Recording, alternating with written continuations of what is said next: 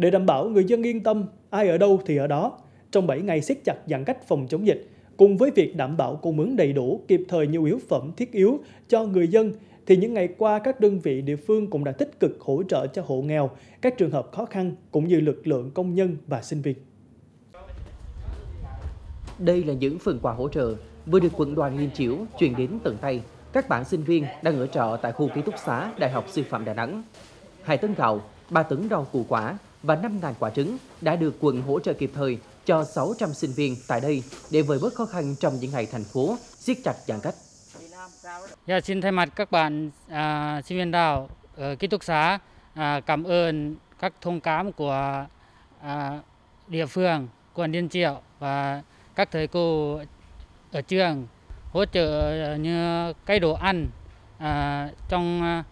à,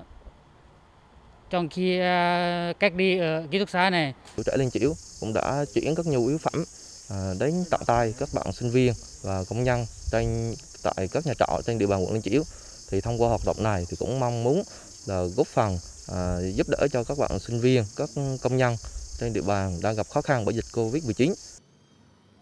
Tại phường Mỹ An, quận Hoành Sơn, mới đây các trường hợp công nhân có hoàn cảnh khó khăn cũng như sinh viên ở trọ trên địa bàn cũng đã nhận được sự hỗ trợ kịp thời từ địa phương. Với người lao động khó khăn, món quà từ Liên đoàn Lao động thành phố với họ rất thiết thực. Phường với là tổ dân phố cũng ờ, nói chung cũng hỗ trợ cho anh em tôi được ờ,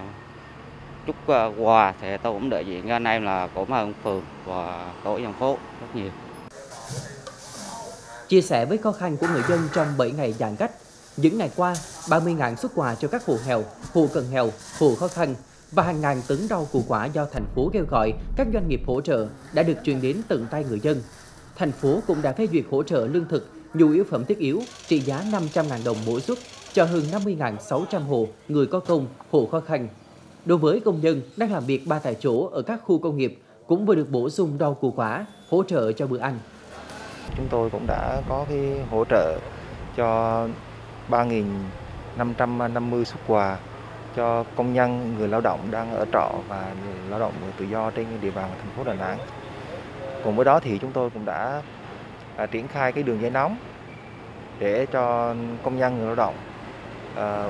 người ta có trong những điều kiện khó khăn người ta có thể là liên hệ đến các cấp công đoàn thành phố để có cái sự hỗ trợ kịp thời.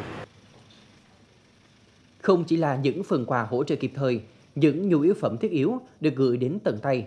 Trong những ngày giãn cách này, nhiều tấm lòng thơm thảo đã có những việc làm thiết thực khác để hỗ trợ cho các hoàn cảnh khó khăn, đối tượng yếu thế. Tại quận Liên Chiểu, nơi có lượng lớn công nhân và sinh viên ở trọ, thì đến nay đã có 522 chủ trọ miễn giảm tiền thuê trọ cho hơn 3.000 trường hợp với hơn 1,2 tỷ đồng. Sự chia sẻ đó giúp công nhân, sinh viên vơi bớt khó khăn để yên tâm cùng đồng lòng chống dịch.